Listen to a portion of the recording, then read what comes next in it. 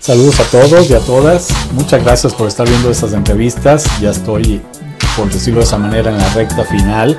Eh, Sofi, en este caso, que va a ser la, persona que voy a entrevistar. Gracias, Sofi, por esta oportunidad, por tu tiempo. Eres la entrevista 73 de las que he realizado desde julio de este año 2020. Así que va a ser una entrevista muy interesante porque nos va a compartir una breve parte de su infancia, su trayectoria profesional como abogada litigante en el gobierno del estado de Oaxaca. Nos va a compartir también una parte de su trayectoria deportiva. Ha logrado incluso ocupar lugares eh, como ganadora, primer lugar, en segundo lugar, tercer lugar, en diferentes carreras, en medio maratón. Eh, voy a dejar su currícula aquí en video para que la puedan ver porque es muy extensa y entonces puedes, puedes ponerle pausa si es que te interesa ver a detalle la, información. Una entrevista con un mensaje final muy bonito que nos transmite Sofi, así que va a ser un tema muy interesante para, para escuchar. Y bueno, pues gracias por estar viendo las entrevistas aquí en el canal, por ver los, los videos de mi canal también, los comerciales que YouTube pone en nuestros videos, a los que somos youtubers que ya monetizamos. Eso también nos favorece mucho que tú veas el comercial completo, porque también nos apoyas de esa manera. El suscribirte, el dar like también, es una forma en que nos estás apoyando precisamente. Así que gracias también por eso. Y vamos con Sofi.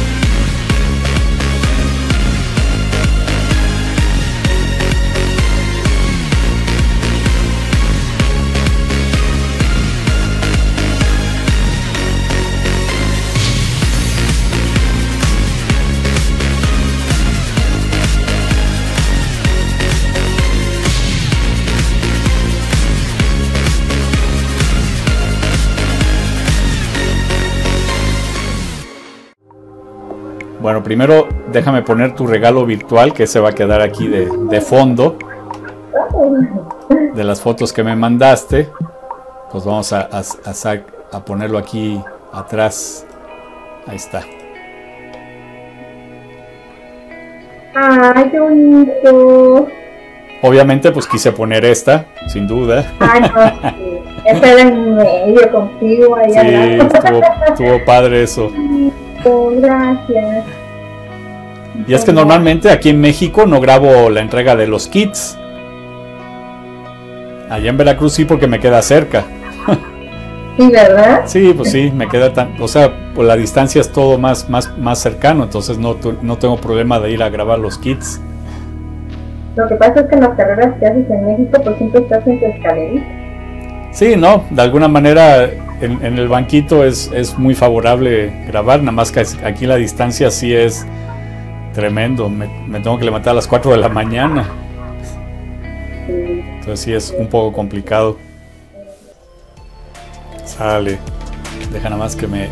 Aquí mi, equipo de producción y el corporativo ya ya se pueden ir, por favor, y que me den un retoque de... Que te den espacio. Sí. Te ves muy guapo. Sí. muy guapo con esta corbata color plata. Sí, padre. Ahora sí, para la, para la ocasión. Sí, ¿eh? porque en las carreras te veo de otra forma. Sí, más informal. aquí, por la entrevista sí, hay que amerita darle más, más formalidad. Arreglarse un poquito. Sí, un, retoque.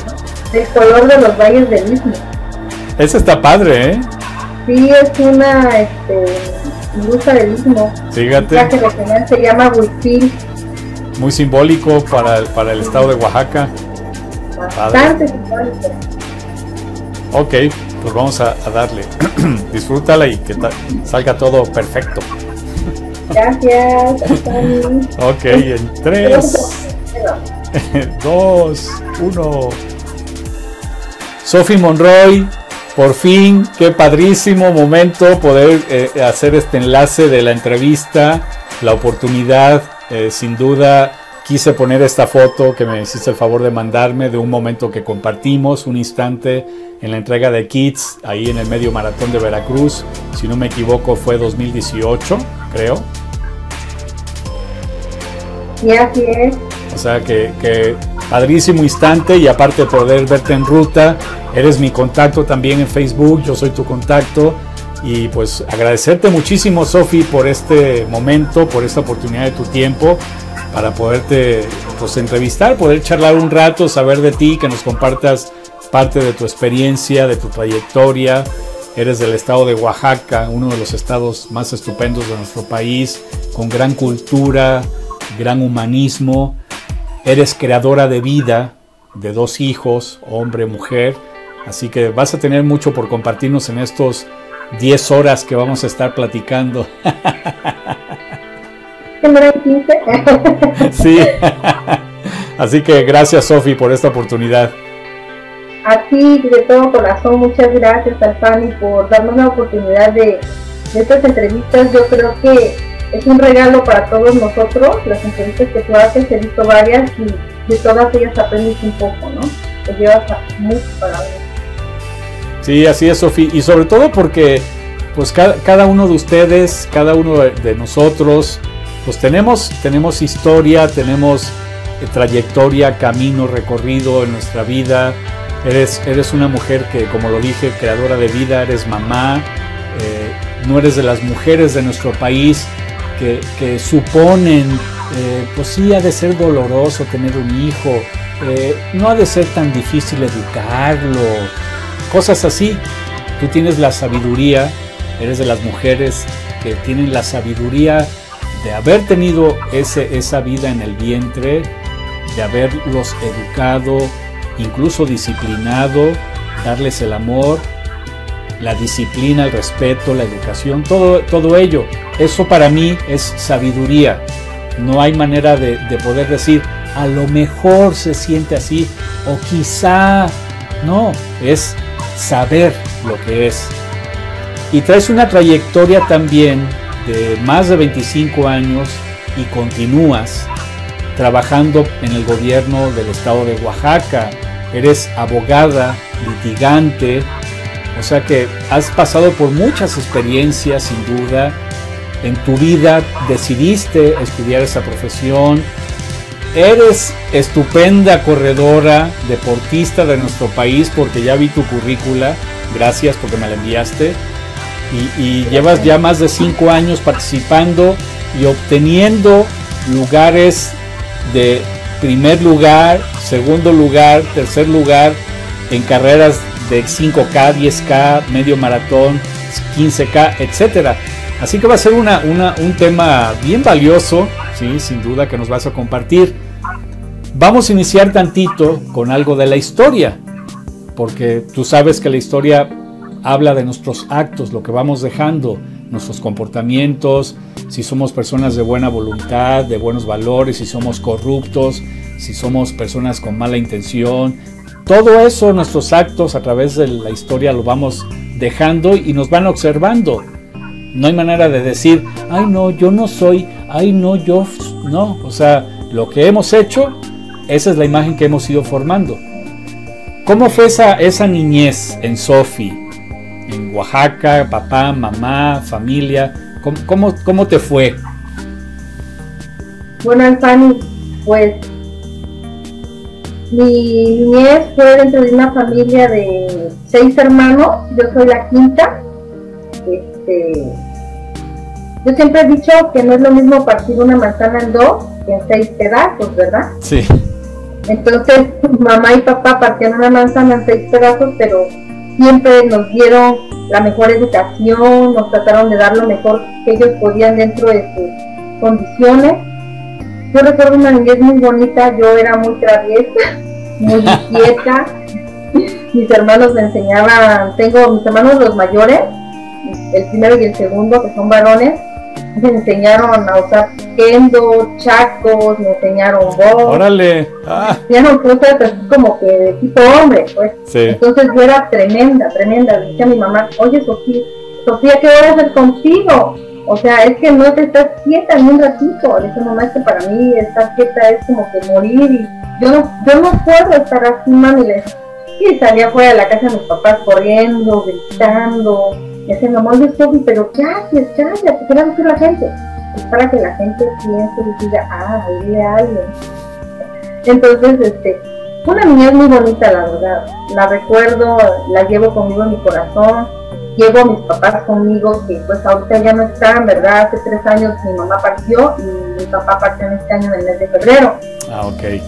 Pero tengo una niñez muy, muy hermosa, con mis hermanos, con mis hermanas, recuerdo mucho mis travesuras, que al yo con mis hermanas como gente extraña. he sido muy, desde chica he sido muy inquieta, he sido muy sociable, platico hasta con mi perro. Si me encuentro un perro y me siento sola, yo con ese perro platico, ¿no? Y este, he sido así, siempre he sido muy amiguera. Me considero una persona muy sociable y me considero una persona que quisiera yo que todo el mundo hiciera lo que yo hago, con lo bueno. Entonces, mi niña fue lo más, y te repito, la quinta de seis hermanos. O sea que, que, de alguna manera en una etapa tuya de tu niñez, cuando algún niñito se quería eh, pasar de listo, como a veces sucede, te hacían bullying, no era tan fácil que te dejaras. Nunca me dejé al inclusive me pagaba para que yo me lo tomara. Imagínate. Sea, siempre he ido contra la injusticia, porque había niños que eran molestados por otros niños, que hasta esos niños les pegaban. Entonces me dicen, oye, Sofi, este fulanito me está molestando. ¿Quién te está molestando, fulano? Dame para la torta y para el recreo, y yo te lo pago, te lo voy a Iba yo y me lo agarraba de acá y le decía, a ver tú, estás molestando a fulano. Y no, mira, te va a ir así. No, no, me dicen ya no. Y así, y entonces... Fíjate nomás. Sí, era yo muy tremenda, muy, muy tremenda el Entonces mi mamá decía, por pero es que, ¿qué voy a hacer contigo? Pues nada, soy tu hija, le decía, ¿qué quieres hacer conmigo? ¿No? Ya si soy mamá, le decía. No, porque pues sí, en varias repetidas ocasiones mandaron a llamar a mi mamá de la, de la primaria para decirle, es que Sofía es así, ¿no? Que sí, pero yo no soy mala, le decía al director, yo soy buena porque yo defiendo al compañero, yo defiendo a la compañera, ustedes no le hacen caso. Decía mamá. Era, era terrible el pan, era, era terrible, pero no para mal, siento que para bien. Yo digo que sí, porque simplemente ya el hecho de, de que actuabas, aunque aunque eras en la parte infancia, normalmente el cerebro humano logra su madurez física hasta los 17, 20 años de edad, pero tenemos el nivel de conciencia de nuestros actos, pues probablemente más adelante, inclusive hay adultos que no, no están todavía conscientes de quién son, de qué hacen, ¿no? Sucede. Pero en tu caso yo creo que lo hacías perfecto en el sentido de, que veías una injusticia, como lo dices. Y fíjate, ahorita porque estoy analizando esto, parece ser que de ahí te atraía la cuestión de la profesión que hoy desarrollas como abogada. ¿En, ¿En, qué parte de tu secundaria o la prepa, a lo mejor, habiendo varias profesiones por elegir, decidiste lo de, lo de derecho? ¿Cómo, ¿Cómo fue que te atrajo ello? secundaria. Porque mi forma de, la que yo te cuento que era como niña, siempre la, he traído desde la primaria, secundaria, prepa. O sea, siempre, mi carácter ha sido así. Yo he sido una persona que a lo mejor en muchas ocasiones me ha creado problemas y ser una persona demasiado sincera, y ser una persona demasiado directa con las personas. No estamos acostumbrados a ver personas o a, convivir con personas que, directamente te digan las cosas. Es no me caes bien, no me hables. Porque así era mi forma de ser desde chiquita. O sea, yo si alguien no me caía bien, yo siempre me decía, es que no caes bien, no me hables, eso para allá. Oye, no me caes bien. O, o les decía sus cosas en su cara, sus verdades. A lo mejor no una forma en que pudiera haber sido lo más correcto, pero yo se las decía. Pues simplemente la persona así que no me quería no la nada. Entonces mi mamá mucho me regañaba porque me decía, oye Sofi, no seas así, hay que, hay que tratar de ser diferente, pero no puedo, mamá, yo estoy así y no voy a cambiar. Entonces, en este mundo, en esta sociedad en la que vivimos, no estamos acostumbrados a tener personas que sean directas con nosotros, a que nos digan las cosas como son, a que nos hablen, yo digo una palabra la mejor que puedo escuchar, vulgar, como siempre a mí me gusta hablar al chile, le digo a mis compañeros, ¿no? Todo es así. Me quieren, me aceptan, adelante. No me aceptan, no pasa nada, ¿no? Pero trato de ser franca, pues mi, forma de ser es así y a veces de verdad yo quisiera cambiar, pero pues no puedo. No puedo, soy demasiado directa y soy demasiado sincera con lo que siento y me gusta a veces explicárselo a las personas. Me ha llevado a, a problemas a la mejor pues hay personas que dicen, no, o sea, ¿qué onda con esta? Pero pues la verdad, yo me siento bien. Y eso es lo que mi mamá dice, que si tú sientes que eres realmente tú, pues adelante. Yo lo único que te digo, dice mi mamá, es que yo hice hijas guerreras, hijas que tienen que salir adelante y que tienen que ser luchas. Y que no se tienen que dejar de nada. Y desde chiquita, esto lo traigo, pero no me queda la cabeza, pues no, así soy, así soy, Alfani y te digo, desde la secundaria me gustó mucho pues la carrera. Mi mamá decía, ¿qué que piensas estudiar? No, yo voy a hacer licenciado, voy a hacer licenciado. Y la verdad, terminé la licenciatura, me puse a litigar en un despacho, estuve como dos años litigando en un despacho, pero me caso. Y al casarte, pues ya son otras las responsabilidades que tienes en casa, ¿no? Porque como profesionista, tú ya no piensas en, bueno, voy a buscar un hombre que me mantenga, que tenga dinero, que lleve el gasto de la casa. Ya las mujeres pensamos de diferente forma ahora. Ahora pensamos en aportar al hogar, en apoyar al marido, en hacer cosas en común, ¿no? Vamos a hacer nuestra casa, vamos a comprar los coches, vamos a empezar a modelar. Entonces ya lo hacen en común entonces, al verme en ese sentido, me casé, dije, no, pues, la actividad es muy buena. A veces hay clientes, a veces no hay clientes, a veces lleva otros asuntos, a veces no se les pagan, ¿no? Entonces dije, no, tengo que trabajar. E ingreso al gobierno del estado de Oaxaca en el 2000, 1994, este, ingreso al gobierno del estado. Entonces yo empiezo a laborar en la dirección pública que era departamento jurídico en ese entonces, hoy es dirección jurídica. Ya tengo 25 años de allá y me ha gustado, me ha gustado bastante mi trabajo que desempeño y me ha, me ha hecho sentirme muy satisfecha como persona y como profesionista. Y es que fíjate, esto que comentas respecto que eres una mujer eh, directa, que expresas el sí y el no, punto, a veces esa educación que nos han dado en casa, como que nos observábamos a papá o a mamá o a los tíos o a los abuelos, el uso de la diplomacia, la hipocresía, ¿sí? que no eran sinceros y uno veía de niño que, que lo que decía la mamá o el papá o el tío o la tía no era verdad, de que estaban fingiendo, o sea, así como que ay, estoy muy bien, no, padrísimo, medio excelente, wow, etcétera. Y la en realidad la persona uno veía al familiar que estaba fregado, fregada o mintiendo. Entonces, hoy en día creo que enseñar a los hijos en esa verdad, a decir las cosas como son, que si te invitan a salir al cine y digas, no, no tengo ganas, no, no quiero ir. Y punto, o sea, hablarlo directo, hablarlo con esa sinceridad, porque a veces somos prestos a, este, es que fíjate que tengo un compromiso, no es que no sabes, cayó un meteorito por acá y dañó, mató como a 100 mil ciudadanos y yo estoy en medio y no puedo salir.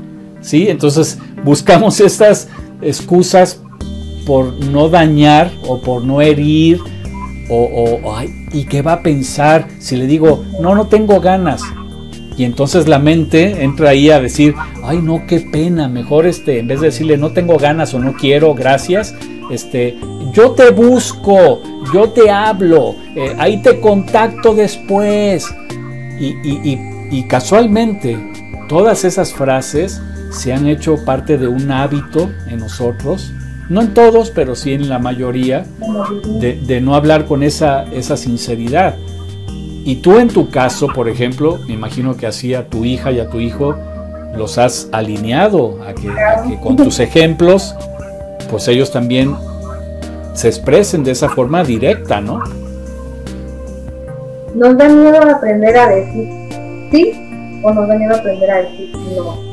Yo creo que es tan fácil y tan sencillo. No puedo, no quiero Creo que sí, como vivimos en un mundo, a veces, lo dijiste hace rato, en un mundo de hipocresía, en el que a lo mejor tratamos de, de, que esta persona me cae bien, pero bueno, me voy a tratar de, no sé, de llevarla. Y, pues nos vemos a veces muchas veces más mal que diciendo mejor a un lado, ¿vale? ¿no? Entonces, este, pues desgraciadamente es no saber decir no vamos a ver.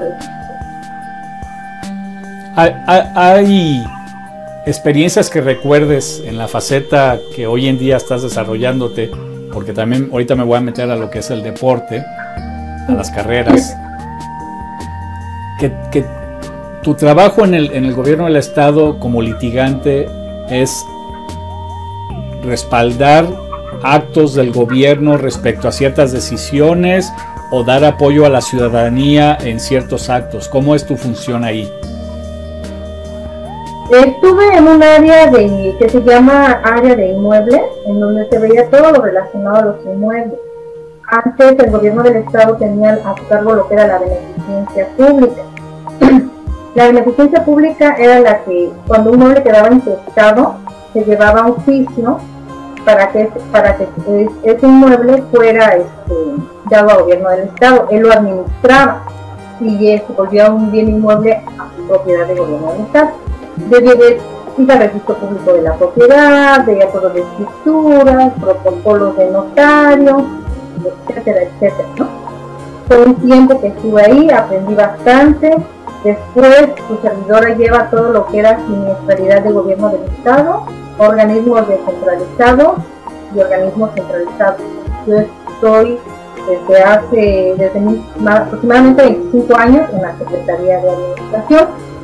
De ahí este, llevaba yo lo que era todo lo relativo a siniestros, pero lo que recuerdo mucho era el apoyo que yo le daba a los compañeros policías. ¿En qué sentido? En el sentido en que a ellos, si ellos siniestraban un vehículo, a ellos se les cargaba lo del pago de, del seguro, que era el, este, el seguro te cobra un deducible. Tú si metes el vehículo, tu vehículo está asegurado, entonces el deducible que tú tienes que pagar para que se repare esa unidad, lo tenía que pagar el conductor. En este caso los choferes de las diferentes dependencias.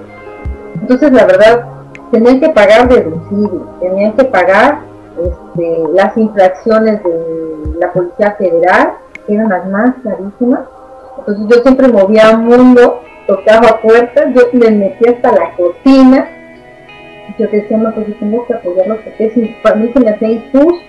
Usted idea de que trabajas en gobierno, de que probablemente te pegan o pegaste, todavía tener que pagar ese deducible de sus quincenas cuando un chofer pues gana, gana poco, no se compara con el sueldo de otro empleado.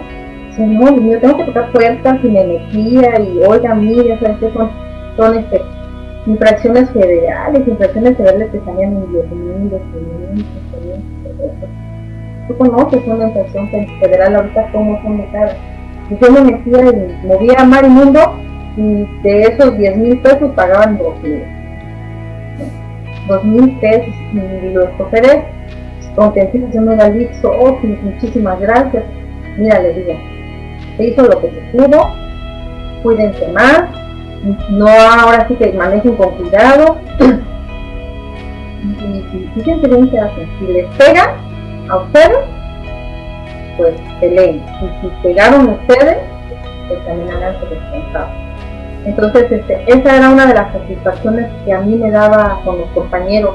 Y pobres, ya no, a veces ya no sabían cómo llegar a la oficina, a veces llegaban con un pastelito, con un besito, con un motor. Oiga, Liz, le hacemos eso. No, pero no se preocupe no sabían cómo agradecerme yo con que ustedes estén bien y que ustedes se libren de esta cinta lo antes posible, y estoy contento.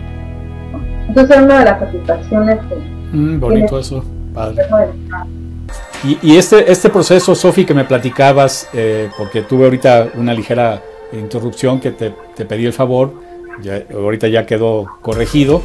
Este, estos empleados hoy en día me imagino que ya legalmente ya se ajustó el gobierno, no sé si a nivel estatal o al nivel federal, para que no tuvieran que estar pagando ese tipo de, multas o situaciones que, el gobierno puede absorber, me imagino. No, desgraciadamente continúa porque ellos manejan reglamentos oh.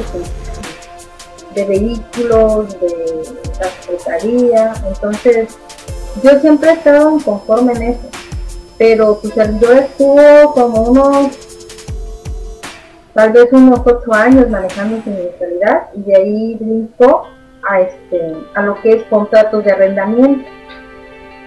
Entonces ya, ya, este, ya, pero sí, sigue, sí, sigue, ellos siguen, de hecho hacen convenios, acuerdos para descontarles. Pero e, esto no, no, digo, desconozco yo este, este, esta línea, porque pues yo no soy abogado y mucho menos he trabajado en el gobierno en ese sentido, y quiero estar suponiendo, ¿sí? Esto, esto no se ha pasado a la Cámara de Diputados o a la Cámara de Senadores para que pueda hacer un, una, una, un ajuste o una especie de, de modificación, porque lo veo como si fuera una manera en que con ese mecanismo el, el, el empleado se, se, responsabiliza de cuidar la, las unidades, de cuidar el mobiliario. A lo mejor no sé si sea por ese lado. Así es, es un reglamento en donde se les impone cuidar la unidad. De hecho, se tienen convenios con Tránsito del Estado, Policía Federal, porque por lo regular a, a, nosotros como conductores de vehículos, llámese cualquier tipo de vehículos, siempre te piden que lleves tu tarjeta de circulación, tu licencia de conducir. Entonces se les pide que sus licencias estén vigentes.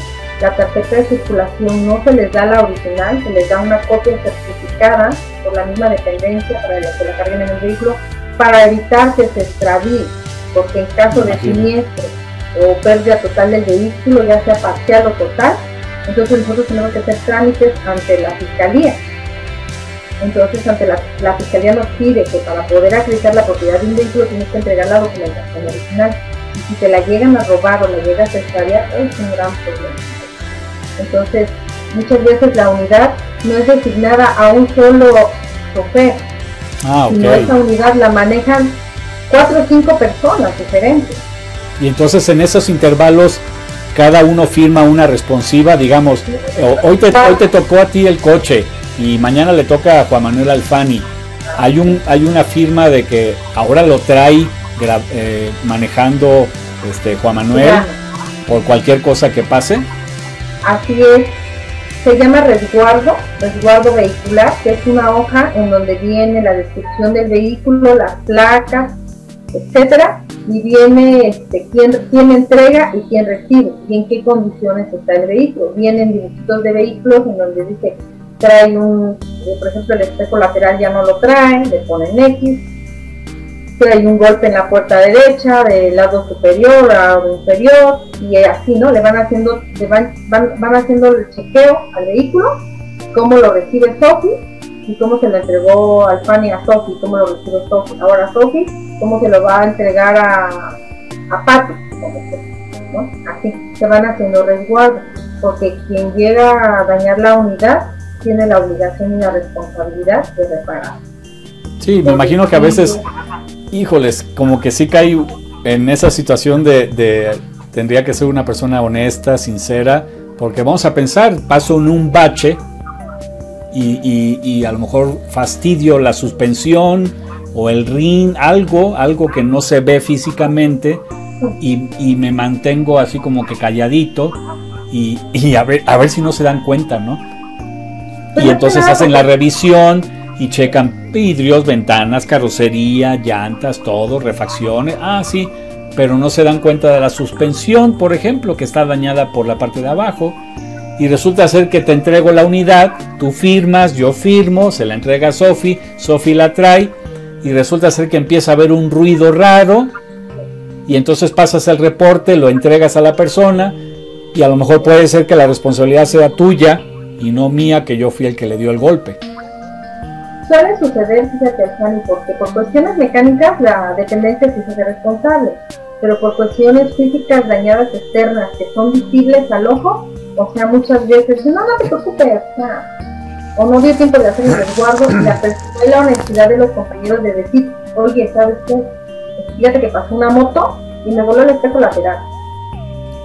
Entonces, no, son cuestiones que muchas veces no las comunican entre compañeros, no hay la honestidad y desgraciadamente pues, cuando son daños causados así, pues se descora los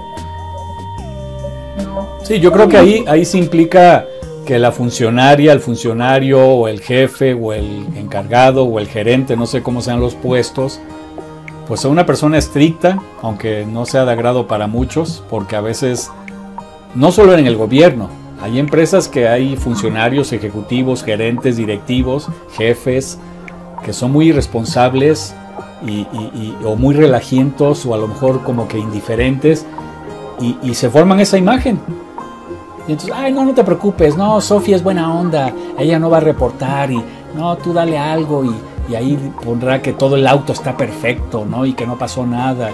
Y se presta y vas formando esa imagen. la corrupción, como se da en, no solamente en el sistema político, ¿no? La corrupción se da en todos los niveles, en todos los niveles. Pero pues es muy difícil, muy difícil es, te digo, de las cosas que a mí me ha dejado muchas experiencias en un gobierno y mucha satisfacción de apoyar a los compañeros. Bueno, pues vamos, vamos a adentrarnos ahora a la parte deportiva, Sofi, porque sin duda podríamos extendernos. Imagínate con 25 años de trayectoria, pues o sea, podríamos aquí más de muchas horas de estar compartiendo, que nos, nos eh, compartieras parte de tu, de tu, historia. Pero pues vamos a, la hora, a, ahora al rubro del deporte, precisamente, porque bueno, yo tuve ahí la oportunidad de conocerte precisamente por, por las carreras, por empezarme a adentrar, a grabarles en ruta, en las medallas, en la entrega de los kits, como esta bonita foto de este instante compartido contigo. ¿En, en qué parte también de, tu vida, no sé si fue en tu juventud, te empezó a traer lo del deporte, porque corriendo pues llevas, si acaso creo, 6, 5 6 años, pero ya nos platicaste que desde niña pues te enseñaban que el manejo de los chacos y te hacías como el Bruce Lee, toda esa cuestión, a defenderte, pero ¿cómo fue que, decidiste iniciar en las carreras? ¿Qué, te atrajo de ello? Te cuento, Alfano. Mm, retomando, regresando a mi niñez, ah, te digo, fui la quinta, dos hermanos hombres mayores, yo terrible. El segundo de mis hermanos, que no está acá en México, vive en Estados Unidos. Este, la verdad, simpatizó con él muy bien. Entonces yo lo veía que en las mañanas se levantaba temprano, yo tendría unos 7 años, 8 años se levantaba temprano y se iba corriendo de mi casa, de la casa de, tu casa, de la casa de mis papás, hasta el tecnológico, serán como unos 3, 4 kilómetros más o menos de distancia. Y de ahí le daba vueltas y vueltas y vueltas al perro. Entonces yo me paraba tempranito y le decía, yo voy contigo. Me decía, no, nana, tú quédate. Me decía, ¿dónde vas? Yo voy contigo. Me decía, que no. Pero yo veía que siempre agarraba un cinturón y se lo enrollaba en su mano. Y le decía, ¿por qué, te, ¿por qué te pones eso en la mano? Ah, es que es para espantar a los perros cuando nos salen. Entonces yo dije, no, pues yo voy contigo. Y agarraba mi cinturón también y me decía, yo no te voy a cuidar, me decía. Yo no sé, yo no voy a parar si te saltas, no me importa, yo voy. Digo que era bronca y me iba atrás de él. Entonces de ahí desde ocho años, siete años, empecé con mi travesía, en correr atrás de él, en mí. Descansé unos años, yo creo, en lo que iba en la secundaria, regreso a la preparatoria y en la preparatoria tomo clases de Kung Fu tres años, luego clases de zumba y empiezo a correr. Fue en preparatoria cuando empecé a correr. Entonces yo corría, pero por hobby. Había varios clubes de acá en Oaxaca que me veían y me decían, oye, ¿por qué no te vienes a entrenar con nosotros? Tenemos, corres muy bien y corres buenas distancias. Yo, no, no, no, porque siento que para mí estar en un club es una responsabilidad y yo, yo lo hago por hobby. O sea, no, entonces, desde niña me gustó correr. Había ocasiones en que yo me iba de la casa de mis papás, me iba hasta el techo, es una distancia bastante larga, solita, me iba como loquita. Y llegaba al techo y le daba dos o tres vueltas, que son cinco, kilómetros y medio en cada vuelta. Y ya me cansaba y me regresaba yo en autobús a, a la casa de mis papás entonces, este, me gustaba mucho, mucho, mucho, mucho, mucho correr. Entro a la universidad y continúo corriendo. Este, ahí conozco al que es ahora mi esposo, este, nos hacemos novios y él nos acompañaba, pero es que yo no aguanto correr como ustedes. Entonces yo salía a las 4 de la mañana para que me diera tiempo. Regresar a la casa de, de papá bañarme, desayunar e irme a la universidad, porque la universidad entraba a las 7 de la mañana. Entonces yo tenía que llegar con toda mi clase. Y hacía mis, distancias a Monte Albán, hacía mis distancias a, hasta Crespo, subiendo por la colonia Eladio, llegando, bajando todas las escaleras del auditorio de la Gexa. ¿No lo conocen, verdad? No, conozco Oaxaca, he ido, pero no me acuerdo. la oportunidad Bajaba todas las escaleras del auditorio de la EXA, bajaba las escaleras de Crespo y volvía a retornar. Así era mi diario, diario. No te puedo mentir que me pasaron muchas cosas que la verdad creo que muchos de nosotros los corredores vivimos aún en la actualidad. Gente grosera, gente que te quiere atacar de una u otra forma, este, que te agrede, que no te respeta como corredor sí me pasaron varias cosas. Yo a veces llegaba corriendo casi sin aliento a la casa de mi papá y mi mamá, ¿qué te pasó? Y ya le contaba, es que fíjate que me pasó esto. No, te tengo, mira, no, pero yo no sé defender, tú no te preocupes. No, día que vayan a hacer algo, que vayan a desaparecer, qué necesidad. Bueno, mi mamá no. Entonces tuve que buscar una aliada. Entonces encuentro a una vecina y la convenzo, todo, sabes qué, acompáñame, vamos a correr, mira, el correr es bueno, ay, si yo no sé correr y no sé la respiración, yo te enseño, vamos. Y empiezo a, iniciar en esto de correr. No, la pobre no aguantaba al principio, pues me bastaba que sea que fuera yo y mi Y ya después me aguantaba el ritmo. Pero pues no, te digo, aún yendo dos personas, dos mujeres, pero solas, y nos pasaron ahí cosillas que creo que a muchas mujeres nos ha pasado. Y, luego este, oaxaqueñas, muy atractivas. Decíamos, no, y ella sacaba su navaja de muelle. no que yo lo voy a quitar, digo, mira, estas gente son exhibicionistas. No vale la pena que te arriesgues. Ellos son exhibicionistas, con que lo ignores, te hagas cuenta, que no lo ves, tú sigues. Entonces, yo creo que ella le contó a su mamá y su mamá pues le prohibió y como ya no, ya no, porque se están arriesgando, ¿no? Y fue. Y pues no igual, entonces dejo de correr por un lado y busco por el lado y me voy a correr a otro lado del suelo. Encuentro un vecino varón, señor, ya grande, y le dije, oye, acompáñenme, mire, te voy a bueno, vamos, todos con que no fuera yo sola. Y él me acompañó. Y así, entonces yo corría por hobby. Y en la universidad empiezan, eh, cada año cuando es el día del abogado hacen una carrera emblemática. Y me dice que es mi esposo, que entonces mi novio, me dice, ¿por qué no te metes a la carrera? Y dice, ay, no, de mi vida yo no he participado en carreras, o sea, no, estás loco, decía. y me decía, eres buena, corres bien. yo, ay, no, no, no, no, no, porque me, recuerdo esa primera carrera que hizo, pues yo estaba sorprendida porque pues llegué en primer lugar.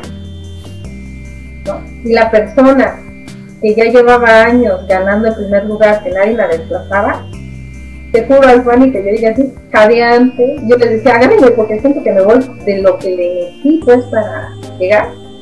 Háganme caminar, le decía, porque estoy casi muerta, ayúdenme. Y ya, pues me alcanzó esa chica y me dijo, ¿tú me Y le dije, yo yo no podía ni hablar. Y le a una amiga que es del Istmo y le dice, sí, sí, te ganó, ¿y qué? Le dice, no, ¿y qué? Y había un broncudo, ¿no? Pues no, desde ahí, de ahí empecé a participar en carreras. Me caso,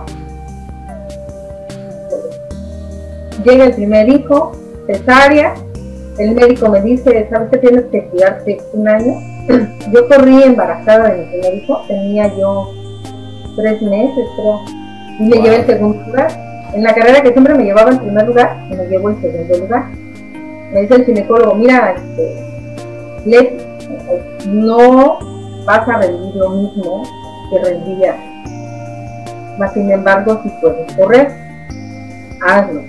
Pero tú te vas a dar cuenta sola que aunque quieras dar más, no vas a poder, porque tú ya traes un producto dentro, o pues que solamente ya está pesadito, ¿no?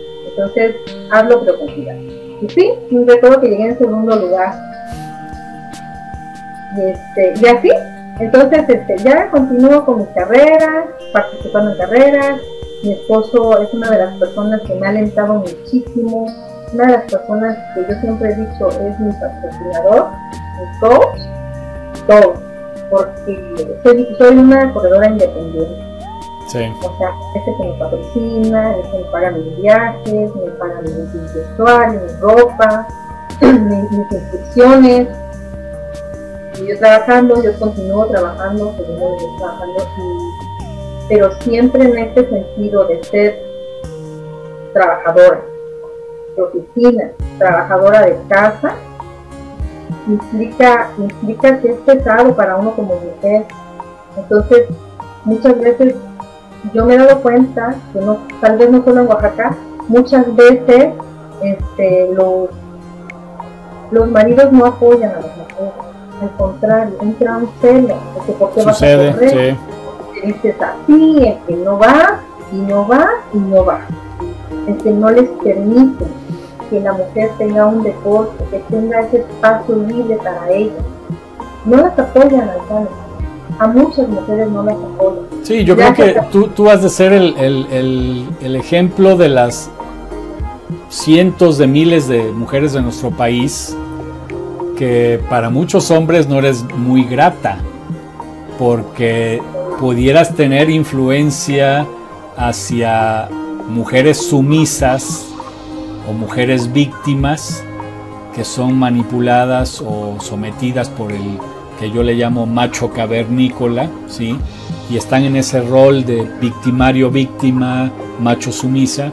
Y entonces una mujer como tú, que hay afortunadamente y creo millones que ya traen ese carácter o también ya empezaron a no dejarse, para ciertos hombres no son muy gratas porque le causarías influencia a una mujer, a su esposa, a lo mejor a su pareja, a que a lo mejor lo manda a caminar. O sea, ¿sabes qué, cuate?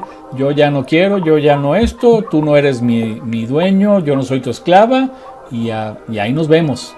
Y entonces eso le causaría a ese macho que requiere su víctima, así como que, no, Sí. Y, no quiero que te juntes con Sophie porque te está lavando el cerebro y está influenciándote, ¿sí? Y esa es la manera en que luego así se justifican ellos, ¿no? Alguien te está influenciando, ya no eres la misma de antes. Antes eras muy buena onda, muy bonita, muy, muy agradecida. Ahora ya no, ya no te dejas influenciar. Y entonces le echan la culpa a Sophie o a otras mujeres. Fíjate que sí, Alfani. Eh, te digo, yo, mi esposo me apoya mucho. A él le encanta que yo me ponga en mi espalda, salitas deportivas, mi chiquichor o sea, yo cuando participo en las carreras, lo menos de ropa que pueda llevar, soy feliz. Pero sí, no he tenido, no he tenido, este, o no he vivido eso por parte de los caballeros que me lleguen a decir yo, oye, ¿por qué te viste así? No, no, al contrario, ¿sabes de qué no he tenido? De las mujeres. y me han dicho que cómo es posible que yo me vista así, que si mi marido me lo permite. las mismas mujeres. Sucede, sí, claro cómo es posible, ¿no? La mentalidad que tenemos. Sí, sí, así es, porque también así fueron educadas, fueron programadas, desgraciadamente también. Y hacernos chiquititas. Sí, sí, desgraciadamente por, traen esa enseñanza y, viven, viven de esa manera y, que cómo es que tu marido te deja y cómo es que tu marido y no sé qué. Pues esa es la proyección del, del opuesto que es en casa, en ese caso de esa mujer, que en su casa el marido es el que dice esto, porque a lo mejor es el que paga, el que dice, el que mantiene, y la mujer pues es la que está en casa, no es trabajadora, es ama de casa solamente, y está tenida a lo que el marido le dé para irse al café o al cine o algo, y, y el día que a lo mejor muera el marido por accidente, por salud o porque se divorcian, ¿sí? La mujer no sabe qué hacer porque estaba tenida a que el marido la sostuviera. ¿no? Concha. Se enconcha la mujer, ¿no? Se hace chiquita. yo creo que debemos tener esa libertad de, hacer lo que nos gusta. A mí me encanta correr, te yo tengo el apoyo de mi esposo al 100%. De verdad, de verdad. O sea, de hecho, yo siempre que corro, siempre les digo, oye, ¿cuál va a ser mi, a ser mi ropa que me voy a poner mañana? Y él me saca la ropa. Él me dice, mira, lleva su faldita, corre así, ya está viendo, mira estos tenis para tus maratones, mira estos tenis para tu tren, mira esto, él, él es el que influye mucho en mí porque tal vez yo no hubiera, en un momento no me hubiera animado, si él no me hubiera animado como lo hizo desde que éramos universitarios, participa, puede, y hasta la fecha los que Verónica están y es que eh, eh, vi tu currícula, le di una leída y, tienes este, una trayectoria de primero, segundo, terceros lugares en tu categoría. O sea, no, eres así como que, ah, llegué en el lugar 15 o en el 10. No, o sea, tienes una trayectoria que, por cierto, eh, al inicio de la entrevista, ahorita te aviso, la, la voy a incluir, porque es mucha tu trayectoria deportiva que me compartiste. Entonces la voy a dejar en video para quien la quiera ver, pues pueda observarla, porque tienes primeros, segundos, terceros lugares en diversidad de carreras, incluso eh, en, medio maratón, si no me equivoco también. medio maratón. En medio maratón, pues de, hecho en todas. Me gusta hacer desde carreras de asfalto, me gusta hacer este, trail, me gusta hacer este, power running escaleras, trepar escaleras. Ah, mira, qué padre. Power running he tenido la oportunidad de estar en la Torre Latino, en la Tlaxcala, en la Universidad del Valle de México, y así, ¿no? Entonces, me ha gustado, combino todo, soy todo lo que mi carrera me gusta de todo. Me gusta hacer ahorita carreras virtuales, o sea, estamos en todo, en todo, en todo me gusta hacer carreras de playa y es una carrera de playa que me fue muy bien, estuve en tercer lugar este, en Duna, en Veracruz. Mira qué padre, qué bonito. cuando, cuando empezaste lo de las carreras, ¿tuviste la asesoría técnica, el apoyo de algún profesional o, la guía para saber qué tipo de tenis, qué tipo de ropa, qué tipo de alimentación, eh, qué tipo de disciplina? o empezaste así al azar? Yo dejé de correr como 20 años por mis hijos. La verdad me descuidé mucho como mujer, como deportista y retomé hace 5 años. Eh, mi coach, mi entrenador literalmente es mi esposo. Él lee mucho, entonces me dice, es una cosa de otro mundo, es cuestión de disciplina, es cuestión de que te apliques, es cuestión de que cuides tu alimentación y es cuestión mucho mental. Entonces, tienes todo, aplícalo y échale ganas. Es muy estricto conmigo, pero la verdad le agradezco y le digo agradecida porque él me dice, yo me siento feliz de tener una esposa que sube a podio, yo me siento feliz de tener una esposa que sana, me siento feliz de, llevar a una esposa a una fiesta que se pueda llevar un vestido pegadito una minifalda que todo el mundo voltea a ver y esa no ¿No? Entonces dice, échale ganas, chiquita, porque tú puedes. No te sientas que porque ya eres persona, no puedes. Porque la verdad, corres muy bien. Y yo soy tu número uno, y así que yo soy feliz correr. A mí qué bonito eso, ¿eh? Porque aparte que son esas energías hombre-mujer que, que, que embonan en esa relación de, de, que normalmente el hombre pues no es así como que tan fácil que no te pongas ese vestido tan embarrado porque se te nota todo tu cuerpo y no sé qué, ¿no? Y al contrario, o sea, qué padre eso de que mutuamente, tanto si el hombre eh, va y, causa atracción a otras mujeres yendo con la esposa, o la esposa causa atracción a otros hombres yendo con su esposo y ambos se sienten con esa confianza y seguridad porque se confían, se respetan y saben que son mutuo. O sea, no hay esa cuestión de que, ay, no voy a, esta vez quiero ser amante de fulana o amante de fulano. Y este, sí, o sea, hay esa confianza de, de saberse de que son uno para el otro y eso es padrísimo. Una unificación de pareja, ¿no? Y sobre todo tus hijos, porque los hijos los ven, los observan y es el ejemplo que también con sus actos ellos los toman para, para sí mismos también.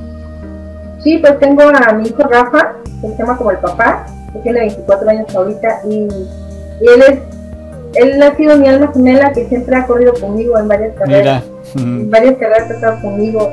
Cuando estaba un poquito más ligero era así como que el que me prestaba las cosas, ¿no? Me decía, ay, Sofía, échale, vas Y siempre me he estado así como que impulsando mi hijo también, no, no, agregamos. Este, y la verdad sí, es, es, para mí es hermoso correr con él. No sé por qué tiempo lo haga, pero mientras pueda lo voy a seguir haciendo. ¿Y, y tu hija hace deporte también?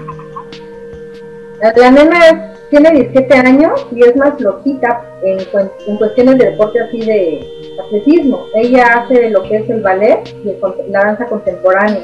Ah, padre. Teatro, canto, ella es de otro más así como que más artístico. Ah, ok. Bueno, pues saludos a, ellos dos, a tu hija y a tu hijo que estén viendo la entrevista. Obviamente a tu esposo también, saludos. Y, este, y mira, fíjate, ya vamos para pues ya más de 50 minutos. Padre Sofi, ¿Cómo, cómo, te gustaría cerrar esta entrevista, Sofi? Porque eh, a veces les he pedido al final de la entrevista que transmitan un mensaje, que, que traten que ese mensaje venga de la parte de lo que todos somos, la parte divina, la parte cuando meditamos o cuando vamos a esa parte interior. Es, es como hacer un lado a ese ego intelectual, por decirlo así, ¿sí? que el ego no es malo, es bueno porque nos motiva, pero un mensaje que, tú nos transmitas que venga de esa parte de tu ser, así como fluye ese amor o esa, esa cuestión de, alegría o felicidad por, por algo que, que, no se puede a veces este, traducir en palabras, se siente. Entonces, ¿Cómo nos darías un mensaje de ti a todos los que estén viendo tu entrevista como si, como si te fuera a ver toda la humanidad, ¿qué mensaje nos darías? ¿Ya? ¿Ahorita? ¿Sí? Para cerrar la entrevista, ok.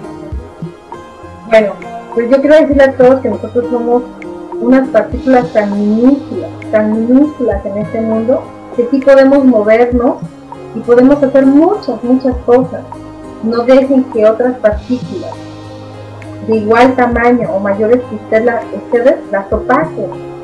Todas podemos hacer algo en este mundo. La verdad, disfrutarlo y hacer lo que más nos gusta es lo que debemos llevarlo en el corazón y activarnos con nuestros pies, nuestra mente y corazón. Si podemos. Nunca digan no puedo. El decir no puedo implica quedarse aterrado, sentado a lo mejor en una silla o recargado en una pared. Aprendamos a mover los pies, porque al mover los pies nuestro corazón late y nuestra mente nos va a guiar a los mejores caminos de este mundo. Mira qué bonito. qué bonito mensaje, Sofi.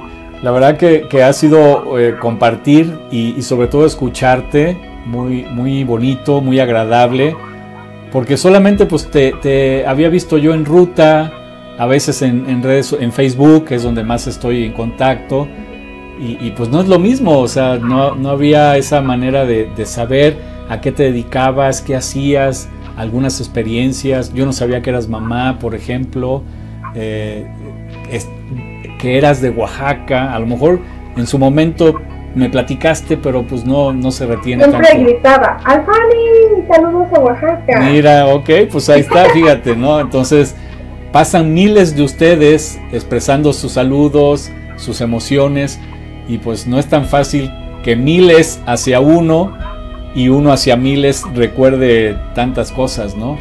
Pero, pero aparte que me encantó tu blusa, sí, porque está típica, típica del estado de Oaxaca, que te digo es un estado, a mi punto de ver, con gran cultura, gran humanidad, tienen mucha empatía hacia la cuestión humana, eh, humildad y humildad en el sentido bonito, sí, en el sentido de, de la sencillez porque, porque vaya, es un estado con, una tradición y una, una, cultura fabulosa. Entonces, pues ha sido muy, muy bonito para mí, Sofi, que me hayas permitido tu tiempo para poder entrevistarte, para que nos platicaras algo de ti.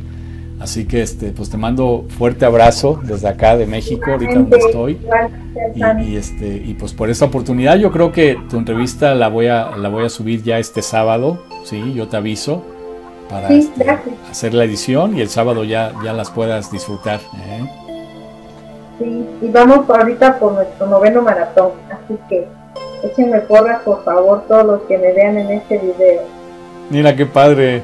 Y además, bueno, sin duda para mí 2021 va a ser fantástico porque también voy a tener oportunidad de estar con ustedes en algunas carreras nuevamente, así que también nos vamos a poder saludar por ahí. Esperemos que sea un 2021 lleno de, maratones para mí, ya que mi plan en este año era hacer uno por mes. Y pues mira lo que pasó. Sí. Pero oportunidades hay muchas, ¿no? Y probablemente 2021 va a ser fantástico porque inclusive va a ser para también los desfiles. Por ejemplo, ahorita en noviembre pues era el desfile Día de Muertos aquí en México que es fantástico, van más de un millón de personas a verlo, pero no se va a poder realizar por obvias razones. Por eso digo, 2021 va a ser increíble. Sí, esperemos que sí, Alfani, muchísimas gracias. Y te seguimos viendo en las rutas, en los eventos, en este desfile de muertos que estuve el año pasado. Impresionante, la verdad, ¿eh? Muy, muy impresionante. Y este, pues estamos acá, Alfani, a tu servicio a tu disposición. Sabes que somos tus admiradoras, ¿no? Y por favor, cuando estés ahí en tu escalerita, saludos a Oaxaca siempre. Sí, muchas gracias, Sofi. Y bien que te acuerdas, porque casualmente a, Veracruz no me he llevado mi banquito, precisamente porque ha coincidido el norte y mi hijo es el que me ha prestado esa escalera para poder grabarles en ruta. Mira pues, pero está mejor, estuvo mejor porque así te pudimos aprovechar. Sí. ¿No? bueno, Sofi, pues gracias. Gracias por esta oportunidad. Sí, amigo. ¿Eh? Y saludos en casa. Muchísimas gracias, Alfani. Muchas bendiciones para ti. Gracias, Sofía, igualmente. Que estén bien. Bye, Alfani. Bye. Bye.